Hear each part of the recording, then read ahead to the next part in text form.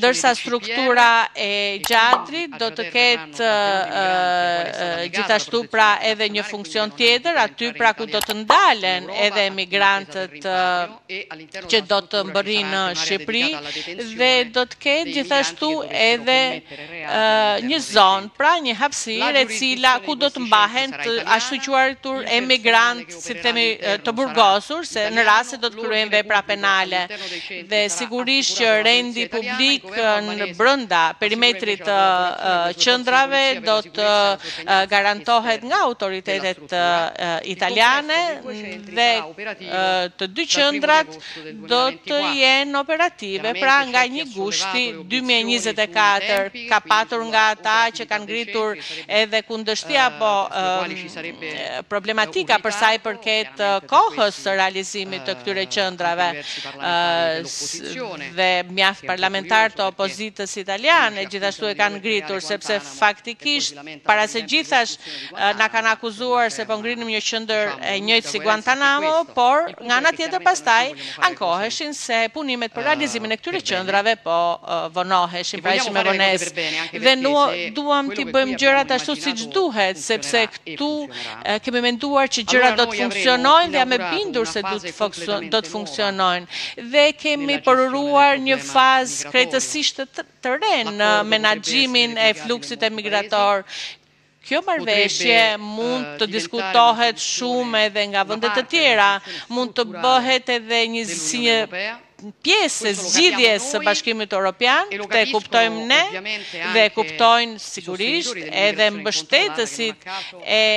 emigracionit të pakontrolluar apo të paligjshëm. dhe që faktikisht e kanë kundërshtuar fuqishëm këtë marrëveshje dhe pra ne duam të lëmë gjithçka pas krahëve dhe t'ju themi që do ta realizojmë me sukses.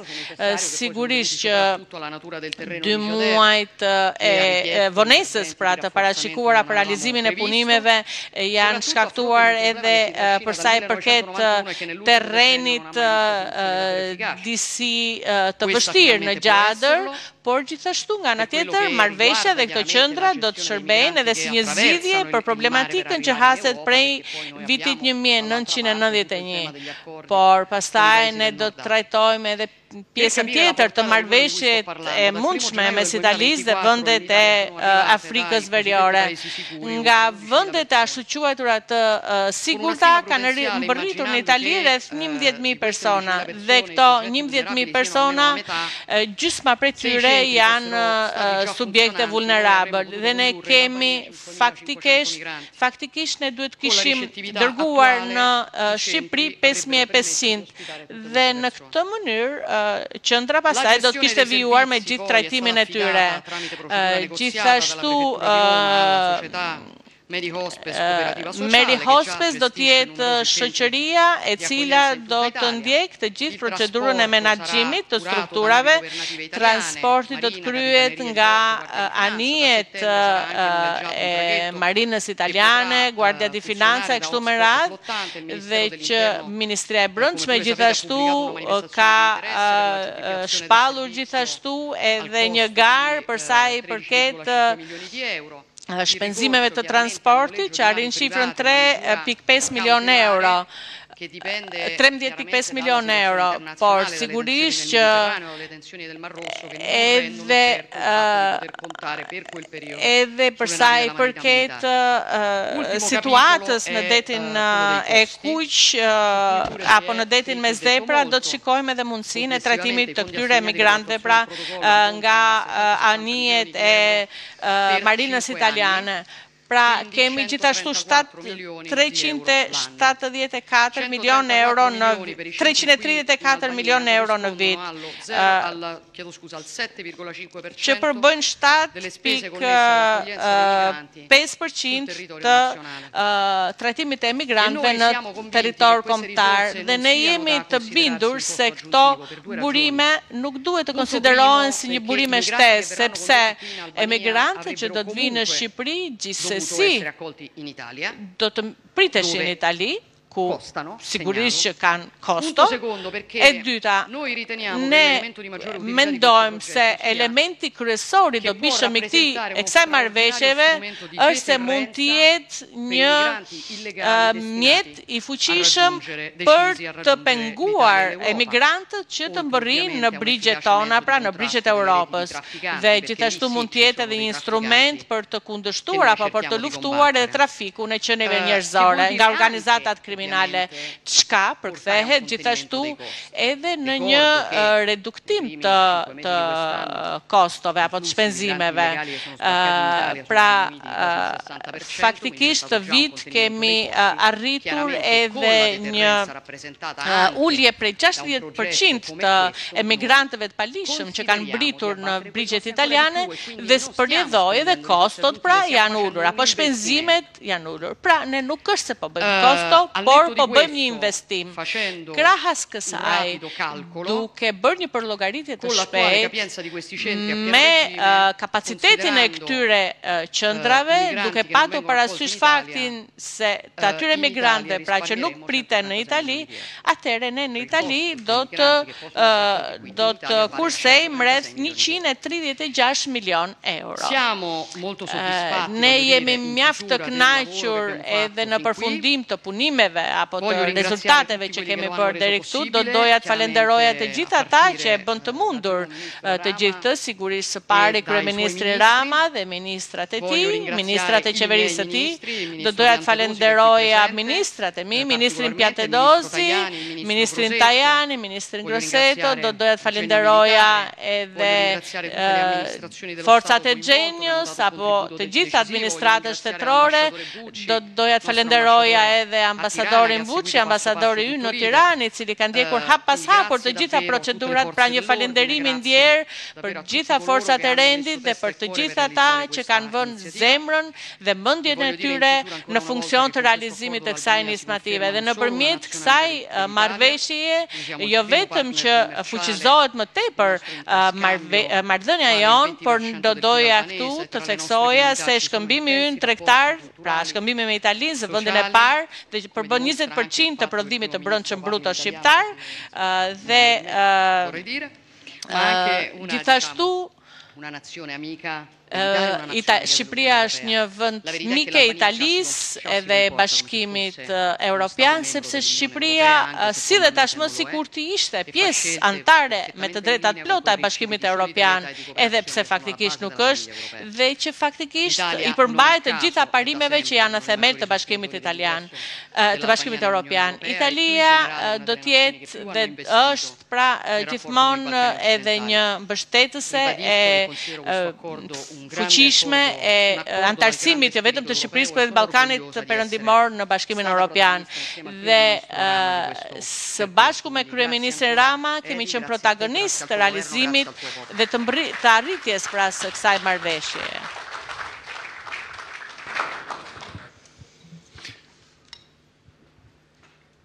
Muhamed Veliu nga televizioni Top Channel.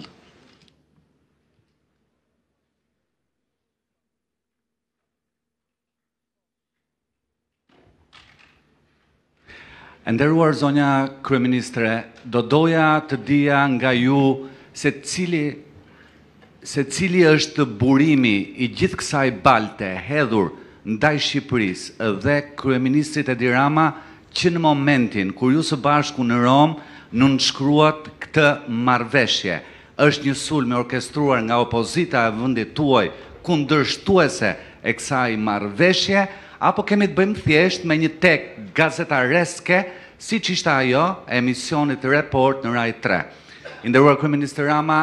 Cili do të jetë përfitimi i ekonomisë lokale këtu në Shqipëri me ndërtimin e kësaj qendre pritje dhe me qendrën tjetër të akomodimit në Gjadër, pasi emigrantët natyrisht do të ushqehen, ka nevojë për kujdes e tjera, tjera. Faleminderit.